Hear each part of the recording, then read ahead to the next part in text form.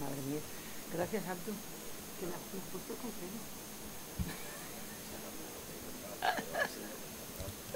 es, que, es que muy reciente esto, de, de ahora, de hace nada. Sí, exactamente, sí. Muy bien. Genial, vale. Luego yo me pongo aquí, déjalo ahí. Muchas gracias, sí. Vale. Sí. Hola, buenos días.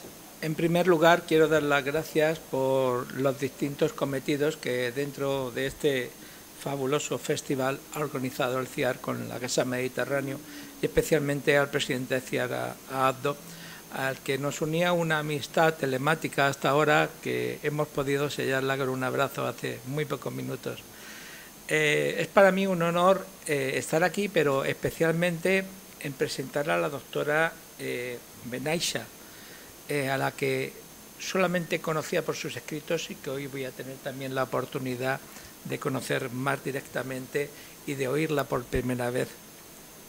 Ella es profesora en el área de estudios árabes e islámicos de la Universidad de Alicante, doctora en lenguas y literaturas modernas por la Universidad de Alicante, especialista en mediación social intercultural, experta en cooperación internacional para el desarrollo, responsable del área de cooperación en la Cátedra UNESCO de Educación, Investigación e Inclusión Digital de la Universidad de Alicante, cofundadora de la revista científica Revista Argelina, codirectora del Seminario Permanente Mujeres y Géneros en las Sociedades, y Género en las Sociedades Árabes, miembro del Instituto Universitario de Investigación de Estudios de Género de la Universidad de Alicante, miembro de la Comisión de Igualdad de la Facultad de Filosofía y Letras de la Universidad de Alicante, investigadora y gestora de proyectos institucionales en, perdón en mi inglés, Capacity Boiling con instituciones de educación superior en la región MENA,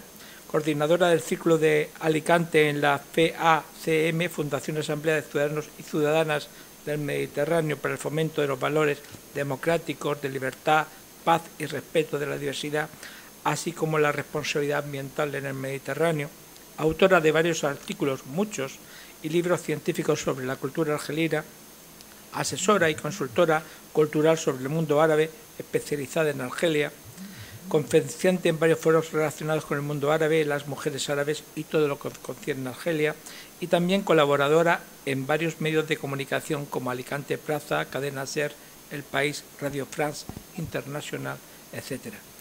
Bueno, esto, el currículum de la doctora, eh, pues viene a, a demostrar lo que yo llevo mucho tiempo diciendo, y es que en España nos falta trabajo, está mal repartido porque la doctora Benaisa se, se, lo ha llevado casi todo, ¿no?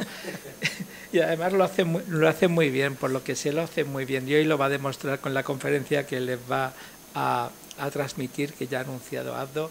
Y bueno, pues enorme. Muchísimas gracias, eh, Joaquín. Gracias. Es verdad que también es que tenemos muchísimos conocidos de forma telemática. Eh, desde, o sea, de forma telemática conocemos a muchísima gente y hay gente que conozco, pero, pero conozco, pero como si, como si hubiéramos crecido juntos, ¿no? Pero que jamás nos hemos eh, dado un abrazo real, solamente abrazos virtuales.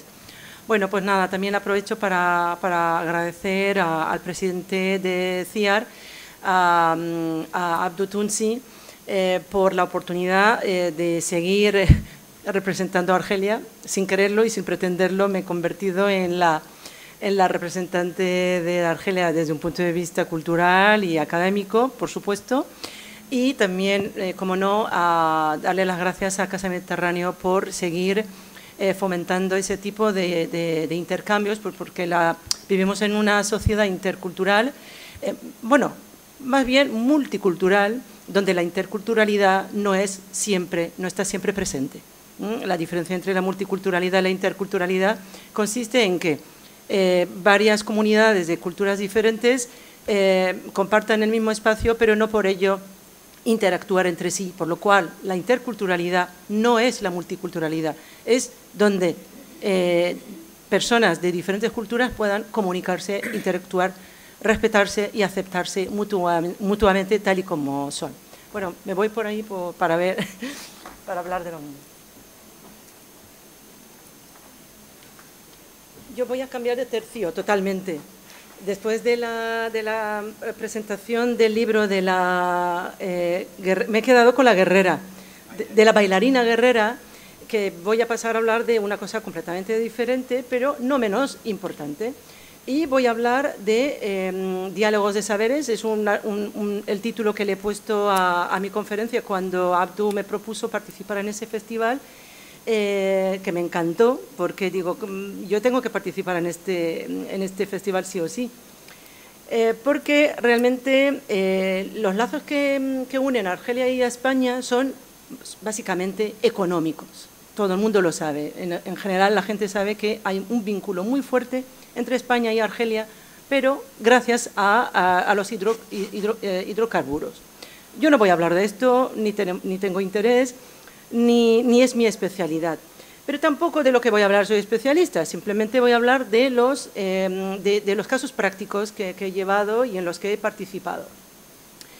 Em, por supuesto, para hablar de los intercambios a nivel académico entre España y Argelia, entre universidades españolas y argelinas, eh, habrá que situar un poco eh, qué relación, cuál es la relación que existe entre Argelia y España. ¿no? O sea, de forma muy breve, y em, citando a la autora, que es la catedrática de Derecho Internacional de la Universidad Juan Carlos, Rey Juan Carlos de Madrid, la profesora Sagrario Morán Blanco, eh, que dice que España y Argelia comparten una historia común y compartida. Es verdad que lo, hemos dicho muchos, mm, que estos dos países comparten una historia. Y es una historia que, se remonta al, siglo XV, eh, o sea que no estamos hablando de antes de ayer cuando Argelia se prestó para acoger a los moriscos que fueron em, eh, expulsados eh, de, España por los reyes católicos. También hay un, em, un acontecimiento importante que hace que Argelia y España tengan unos lazos históricos de hace mucho tiempo, y es la ocupación española de la ciudad de Orán. Eh, en las fuentes españolas se habla de la ciudad de Orán y de la ciudad de Mazalquivir, que para nosotros es Mazalquivir pero que para, los oraneses, de hecho soy oranesa, Mazalquivir es, un pueblo de, digamos, es, es, un pueblo de, es verdad que es un municipio desde hace años, pero realmente es como, hasta hace poco, mm, era eh, un, barrio del municipio de Orán. Entre, estamos, estaríamos hablando de entre 1505 hasta 1509, luego hubo una, una especie de interrupción, y luego de 1509 hasta 1792 por lo cual estaríamos hablando de mucho tiempo, de, mucha, de una historia larga que une Argelia con España y especialmente con, em, eh, con Orán. Eh, también eh, quisiera contar esa, esa, historia que siempre me han contado desde que tengo uso de razón, un poco para sellar ¿no? esa historia que, que, une Argelia con España. Y es la historia del emperador Carlos V que le cuenta a su hijo Felipe, Felipe II y que, claro, porque eh, el emperador Carlos V nunca, llegó, nunca consiguió tener una relación de vecindad buena con Francia. Y entonces eh, le dice a su hijo cuando le visitó un día y le dijo a Felipe II, dos vecinos, dos países vecinos, ni pueden ni deben ser enemigos, por lo cual hay que fortalecer y crear y conseguir eh, tener unas relaciones buenas con Argelia en este caso. Bueno, Em, es verdad que también la profesora, la, catedrática, habla... Ay, ¿no está saliendo? ¿Y cómo sale? Bueno, yo sigo hablando que luego ya saldrán las cifras. Hay mucha una frase que se repite muy a menudo eh, con la que discrepo bastante. Y aunque España, y dice esto, aunque España y Argelia son dos países vecinos y muy próximos desde un punto de vista geográfico, em, son dos países cuentan con realidades políticas, culturales y religiosas muy diferentes. Eso es cierto, por supuesto, no, no cabe duda, ¿no? No hace falta decir, em, volverlo a resaltar porque es la realidad. Pero es que acaso hace falta que seamos em, iguales para, para, para, respetarnos, para entendernos. No es, no es necesario que, que, seamos tan eh, parecidos para entendernos y para poder Em, para, poder eh, compartir un espacio en la, de forma pacífica. Por lo cual, mm, es una frase que se repite mucho, que se oye muchísimo, pero bueno, que no es necesario que, mm, seamos diferentes, mm, iguales. Somos diferentes, pero también somos iguales y parecidos.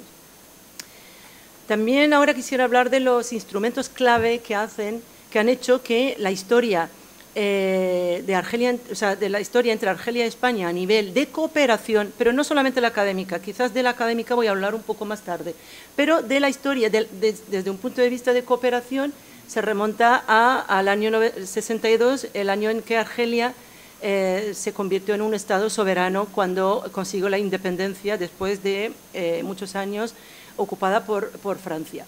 Pues entre 1962 y 2002 se firmaron 14 acuerdos bilaterales. Es verdad que pueden parecer, para los que no, tienen idea, pueden parecer muchísimos acuerdos, pero os puedo asegurar que son muy pocos. Y luego pues hubo un, em, parón, eh, digamos que desde el 2002 eh, hasta el 18 eh, se volvieron a firmar otros 14 acuerdos que siguen siendo pocos para dos países tan cercanos, dos países que comparten una historia muy larga. También em, creo que es imprescindible eh, volver a hablar o, resaltar otro instrumento clave en ese tipo de relación y que es lo que se conoce por las RAN, que son las reuniones de alto nivel o las cumbres que suelen celebrarse entre, entre, entre estados realmente. ¿no? Entre España y Argelia se han celebrado hasta el 2018, que fue el último año en el que se celebró esa, cumbre, eh, que fueron ocho. Y sería a partir del 2002 cuando Bouteflika se convirtió en el presidente de Argelia y que intentó o que decidió abrir Argelia a la internacionalización a todos los niveles, incluido el nivel académico. De hecho, eh, los profesores y las profesoras eh, de universidades saben de esto porque saben que es eh, a partir de ahí cuando realmente empezamos a, firmar convenios ¿no? bilaterales de cooperación académica con universidades argelinas. De 2007 hasta la actualidad, eh, bueno, hasta la crisis diplomática que está viviendo España y Argelia, o sea, en total se firmarían 35 acuerdos internacionales no normativos. No tenemos tiempo porque no, por eso no puedo entrar en detalle en cada acuerdo porque sería mm, imposible. Em, esto creo que ya he, hecho, he hablado de esto. Con, respecto a los convenios y los acuerdos y protocolos firmados entre los dos, los dos países, he querido resaltar estos cuantos, ¿no? sobre todo mm, poniendo el énfasis en las fechas. En el 63 se firmó el primero, que es el convenio sobre transporte aéreo, hablando de una Argelia recién nacida, como quien dice, ¿no? Una Argelia, un Estado soberano, por supuesto. Y luego, em, en el 68, se firmó el Acuerdo de Cooperación Cultural, Científica y Técnica. Y es aquí donde, en este acuerdo, donde cabría el, intercambio académico. O sea que estamos hablando de hace 56 eh, años, los que se dicen pronto, que no es moco de pavo, que son muchos años de cooperación.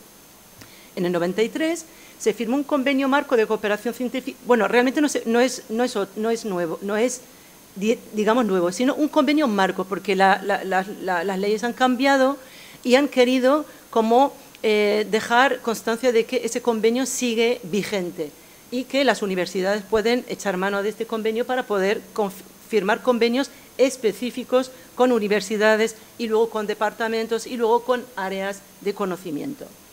En el 2002 digamos que es una fecha muy eh, relevante, eh, muy importante en la historia entre España y Argelia, porque fue cuando se firmó el famoso Tratado de Amistad y de Vecindad entre Argelia y España, que ahora mismo se encuentra congeladísimo por culpa de la, de la crisis eh, diplomática. yo en mis charlas no suelo tratar, o sea, quiero decir, no quiero entrar en temas eh, de política, porque no soy política, aunque me guste muchísimo la política, claro, como argelina, ¿cómo no me iba a gustar? Es eh, imposible no, no, no, tratar ese tema, ¿no?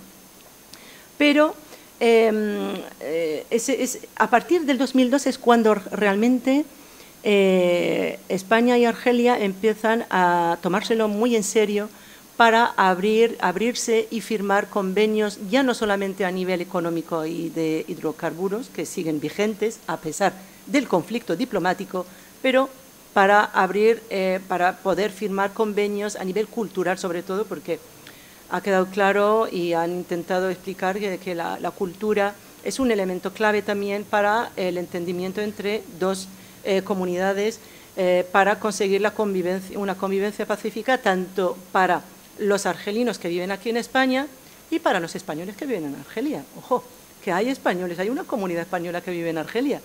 Y no estamos hablando de, una comunidad eh, digamos que no es, un, no, es un caso baladí, es un caso muy importante y hay em, eh, un, número considerable de españoles que son básicamente funcionarios que, trabajan y viven en Argelia, por lo cual estos también tienen que tener acceso a la cultura argelina, el país de acogida, y que sirva de, em, instrumento o de herramienta para poder convivir con, eh, con la sociedad de acogida. Y luego ya en el 2013 se firma el Memorándum de Entendimiento de Cooperación Cultural y es a partir de ahí cuando em, em, se firman muchos convenios a nivel cultural, por ejemplo, para el cine. Los directores y directoras de cine han venido a España para participar en los festivales, eh, sobre todo el de San Sebastián y el de Alicante también, donde más, donde más han participado. Eh, por ejemplo, eh, películas dirigidas por mujeres argelinas que han sido seleccionadas para inaugurar ciclos culturales. Por ejemplo, la Fundación Mujeres por África, fundada por María Teresa Fernández de la Vega, la ex, la segunda del, gobierno de Zapatero, en el 2019 me invitaron para la inauguración del séptimo eh, festival de Cine, que es un festival que se llama Ellas son Cine, y la película elegida para la inauguración de dicha edición fue una película de una directora argelina y que encima esa, película fue elegida para representar a Argelia en los Oscars que al final no, no fue la, película, pero bueno, por lo menos fue eh, seleccionada para representar a Argelia, pero luego no salió. Em, eh, ahora me gustaría hablar de el, del, séptimo, eh, de la séptima reunión eh, de alto nivel que se celebró en Argel, de hecho, porque se hacía, se hacía cada dos años, era bianual y en cada, cada reunión se hacía en un, una vez en Madrid, otra vez en, en Argel. Pues eh, durante esta reunión ambos países plasmaron su interés por fortalecer los lazos culturales eh, porque consideran que la formación eh, artística, el intercambio de conocimientos y experiencia y formación en el ámbito de la perseveración de monumentos históricos son muy importantes en el entendimiento entre dos estados, y dos pueblos y dos personas que están conviviendo en el mismo sitio. ¿Qué es lo que ha pasado? Claro, porque seguramente dirán, ¿y qué es lo que ha pasado? ¿Por qué eh, la última reunión tuvo lugar en el 2018? Pues claro, la siguiente estaba programada para el 2020. ¿Y qué es lo que pasó en el 2020? Llegó el COVID.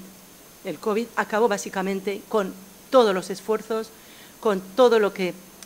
Bueno, normalmente no soy tan negativa, ¿no? Es verdad que yo soy de las que ven el vaso medio lleno, pero es verdad que el COVID ha, hecho mucho daño en las relaciones también eh, entre España eh, y Argelia, por supuesto no de forma intencionada, pero desde entonces eh, que ha habido poco, eh, poco intercambio, pero desde, eh, o sea, desde la academia sí que seguimos trabajando.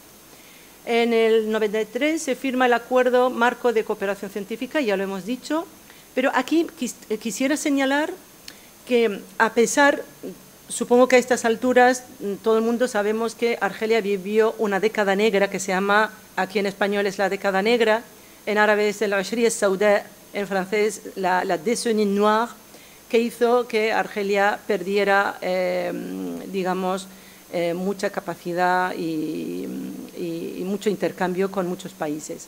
Es verdad que Argelia, gracias a su eh, autosuficiencia, lo pongo entre comillas, a nivel de transporte, tanto marítimo como aéreo, ha podido sobrevivir al decenio negro realmente, porque durante el decenio negro nadie, absolutamente nadie, eh, básicamente todos los países retiraron a sus embajadores y el único país que mantuvo a su embajador durante toda todo el decenio negro fue España. España fue es un país que realmente es verdad, claro, que, no, que mantuvo, a pesar de los pesares, mantuvo su embajador, pero además sacaron muchísimo partido durante esa década, ¿no? A partir de ahí eh, abrieron también, em, eh, España eh, abrió una delegación, una representación del Instituto Cervantes en Argel, aunque realmente en, los años 70 existía ya una representación del Centro Cultural Español, que aquel entonces se llamaba el Centro Cultural Español, y que, claro, porque el Instituto Cervantes nació en el 91. Y en 92, 93, básicamente de forma oficial, nace el primero en Argel. Y en el 2007 nace la segunda representación en la ciudad más española de toda Argelia, que es Orán. Entre las dos representaciones, Argelia eh, tiene a estas, alturas, eh, pero no sé, me atrevería a decir, yo qué sé, miles de matriculados de argelinos para aprender la lengua española. De hecho, el español es la tercera lengua más estudiada en Argelia, después del francés, por supuesto, y el inglés, el inglés por imposición. Em, con respecto al, bueno, ya he hablado del Instituto Cervantes, con respecto a los proyectos em, de investigación científica, no existe ningún eh, tratado, ningún convenio, ningún acuerdo específico para ello. Lo que existe, y también gracias a la, eh, a la Unión Europea, básicamente desde la entrada en vigor del espacio europeo de, educación superior, que también da, digamos, una Em, eh, la Unión Europea quiere eh, colaborar y cooperar con todos los países vecinos de Europa. ¿Y cuáles son los países vecinos de Europa a partir de España? Desde España, pues Marruecos y Argelia y Túnez y todo lo que es la región MENA, o sea, Middle East y North Africa. Em, entonces, a partir de ahí, yo ya esto ya lo puedo decir, bueno, aunque realmente tengo aquí muchísimos ejemplos, tenemos el proyecto Twinning, que consiste en un, proyecto que da apoyo al Ministerio de Educación Superior e Investigación Científica de Argelia. Y digo apoyo al Ministerio de Educación Superior porque Argelia, como algunos países del mundo árabe, es algo específico, creo que es propio del, del mundo árabe, tienen dos ministerios. El Ministerio de Educación Nacional, que abarca toda la educación básica, y luego está el Ministerio de Educación Superior, que abarca solamente lo que son la, educación superior, las universidades. Ese proyecto, eh, que duró mm, tres años, nace con la, finalidad de reforzar las habilidades pedagógicas de docentes en investigación y las capacidades de gestión de la administración pública. Porque desde Europa se considera que para avanzar en la cooperación y en, el intercambio académico necesitamos tener, necesitamos que Argelia mejore su, economía mediante la creación de una economía competitiva y también tener una educación superior de calidad que debe jugar un papel clave. Aquí me gustaría compartir con todos ustedes de que eh, hasta, ahora he participado en ocho proyectos eh, internacionales Em, financiados por la Unión Europea, que son Erasmus Plus, y todos están en Capacity Building. Y, eh, y son mm, eh, proyectos em, universitarios que consisten en enseñar, más que enseñar, compartir la experiencia eh, europea occidental, o sea, la experiencia académica universitaria occidental con las universidades de la región MENA, pero no solamente con la región MENA, también lo hace con los países de Iberoamérica. Entonces yo me acuerdo cuando el año pasado cuando fuimos a la clausura de uno de los proyectos en Beirut, eh, que estaba la, clausura estaba destinada, o sea, estaba propuesta, organizada para hacerla em, en Damasco, pero claro, por la situación no pudo ser y la hicimos en Beirut. De hecho, Beirut se convirtió en la capital de la zona junto con Amman de Jordania, se, convirtieron en las capitales donde se inauguraban y se cerraban, se clausuraban los proyectos institucionales a nivel académico. Pues porque hasta ahora, porque ahora mismo, desde luego, ya veremos lo que va a pasar, ¿no? Pero hoy, hasta, hace poco, era esto. Y me acuerdo que mis compañeros, los occidentales, claro, yo estoy, estaba entre los dos, ¿no? Entre Occidente y, y Oriente, ¿no? Entre, claro, era la argelina, eh, argelina española o la hispano-argelina. Entonces, claro, mis compañeros occidentales me decían, ante cuando cada vez que descubríamos a los compañeros eh, de Beirut, bueno, del Líbano o de Jordania o de Egipto o de Siria o de Palestina o de Libia o Argelia o Marruecos. Es verdad que hemos trabajado con compañeros y con compañeras brillantes, brillantes. Entonces, mis compañeros los occidentales siempre me decían, me decían, oye, Naima, ¿y nosotros qué les vamos a enseñar? Si son ellos los que nos enseñan a nosotros, es que son brillantes, un nivel de inglés impresionante. No había, no hay ningún eh, compañero de estos proyectos que integra estos proyectos, por supuesto que son todos eh, doctores, que no supiera inglés. El que menos tenía tenía el nivel C2, de C2 para arriba. El C2 porque Europa lo ha dejado en el C2, porque podría existir el C4 y el, C, y el C6. Entonces, con eso lo que quiero decir es que desde un punto de vista cultural, cuando, has vivido, has crecido entre dos culturas, te das cuenta de que realmente aquí no estamos para enseñar, enseñarle nada a nadie, sino estamos aquí para compartir experiencias. Ese es mi punto de vista. Y luego otros proyectos también eh, que tiene España con, eh, con, Argelia, hay muchos. Por supuesto, em, eh, según muchos mm, profesionales consideran que son pocos, pero bueno, mm, como soy de los que, que, ven el vaso medio lleno, considero, a mí me, me ha tocado hablar del lado bueno, del lado positivo, de lo que se hace y no de lo que se deja de hacer. Y cuando me toca también hablar de la mujer, las mujeres en el mundo árabe, yo ya mm, llegó un momento que digo, pero vamos a ver, es que las mujeres también pueden hacer muchas cosas, de hecho lo hacen, lo hacen, entonces no podemos eh, seguir hablando de, la mujer como una víctima, de las mujeres árabes como siendo una víctima, porque las mujeres árabes también eh, son, están muy capacitadas y hacen, mm, pues vamos, lo que no está escrito. Son eh, algunos ejemplos, que es eh, eh, el primer proyecto que es un programa internacional de formación y, movilidad que busca fomentar la cooperación y el intercambio entre instituciones educativas de Europa y países de África y Oriente Medio. también tenemos el satélite, que es donde la Universidad de Murcia imparte un curso de formación en Argelia dentro del proyecto que tiene como objetivo promover la cooperación y el intercambio académico entre España y Argelia. Otro proyecto que es el proyecto de cooperación en seguridad vial a través de este programa em, que consiste en tener herramientas financiado por la Unión Europea, la Dirección General de Tráfico de España ha iniciado un proyecto de colaboración con este país para reforzar la seguridad vial en ambos países. Claro, hay que tener en cuenta que ahora eh, la comunidad argelina ha crecido muchísimo, sobre todo desde, desde el COVID para acá o en esta última década, la es una comunidad que sigue siendo pequeña aquí en España, pero a pesar de, seguir siendo pequeña, es una comunidad que ha crecido mucho, por lo cual ese proyecto también es muy interesante. Y luego eh, los proyectos bilaterales en cooperación tecnológica, digamos que eh, existentes entre Argelia y España, existen desde hace muchos años.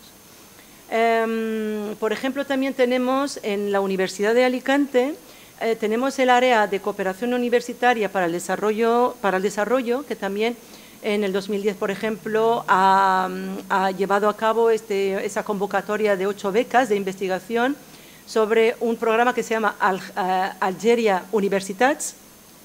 En el 2008, eh, otro proyecto que se llama Argelia, un país también llamado El Jazeir. En el 2007 también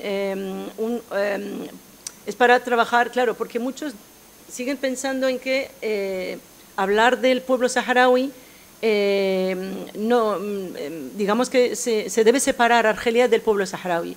Es que es, imposible, no se puede separar, no se pueden separar. Es como, por ejemplo, decir que los argelinos no podemos hablar de, la, de la causa palestina.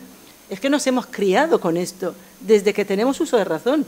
O sea, yo personalmente, que ya tengo muchos kilómetros, he nacido con dos causas, ¿no? con la causa palestina y la causa eh, saharaui. O sea, me he criado con, con estas dos causas.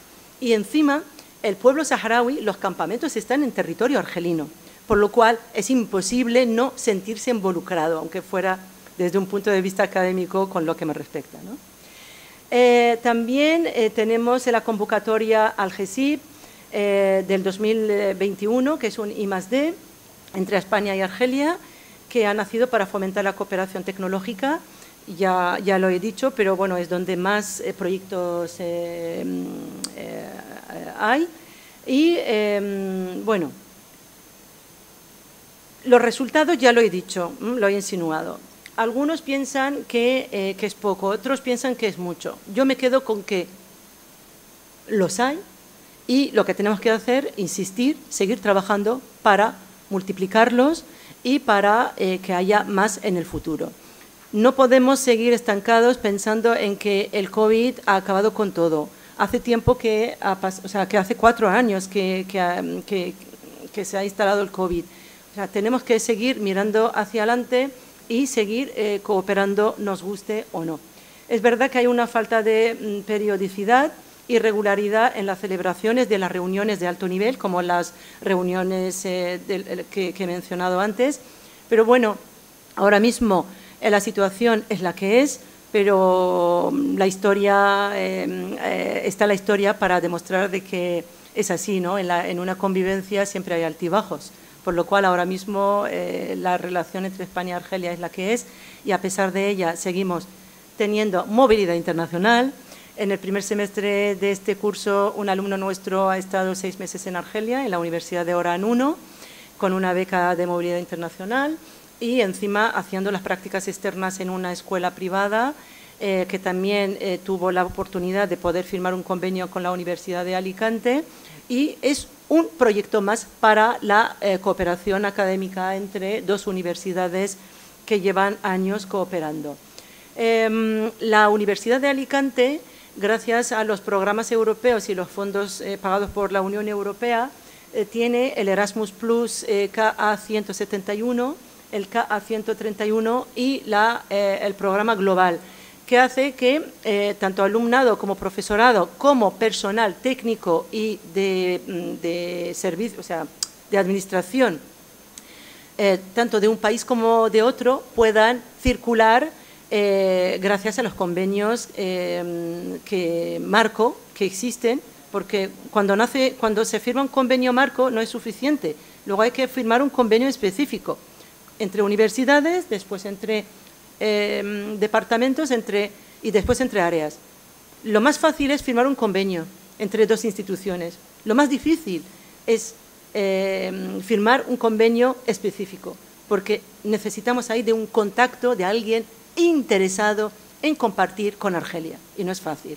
Afortunadamente, hoy por hoy hay muchos académicos españoles, tanto de mi universidad como de muchas otras, que tienen mucho interés en, trabajar con este país vecino.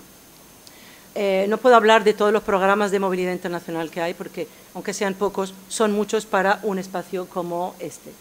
Pero también recibimos eh, alumnos, doctores, que vienen de Argelia directamente, con una beca que es eh, pagada íntegramente por el Ministerio de Educación Superior de Argelia, que se llama eh, Programa Nacional Excepcional, el eh, PNE, y, eh, por ejemplo, mi compañero, el doctor Henny, que sigue presente en esta sala, él ha mm, dirigido a muchos alumnos, doctores, con, que vienen con, con, una beca, muy buena beca, pagada por el Estado argelino íntegramente, al 100%.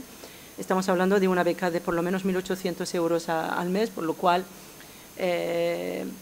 todo, esto nos permite eh, tener ese trato de cercanía y aprender de estos doctores, estos doctorandos y estos profesores que vienen de un país que, a pesar de la cercanía geográfica, sigue siendo un país totalmente desconocido para muchísima gente. Y gracias por vuestra atención.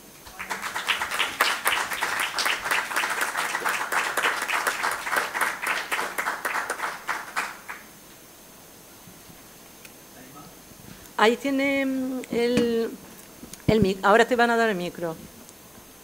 Sí, eh, simplemente decirte una cosa eh, sobre los eh, españoles que hay en Argelia. una vez me encuentro con algunos y me dice, les digo, yo soy de origen argelino. Dice, sí, tú eres de origen argelino, pero nosotros somos argelinos, porque eran la segunda generación nacidos en Argelia. Bueno.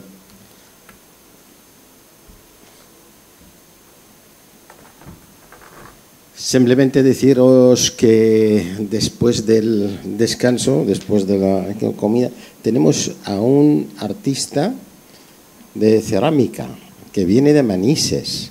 Así que ya sabemos la relación de cerámica entre lo que es Al-Ándalus y Manises. Eh, muy interesante. Nos va a hacer una charla con demostraciones de cerámica a, a las 5. ¿eh? Así que os esperamos. Muchas gracias por todo.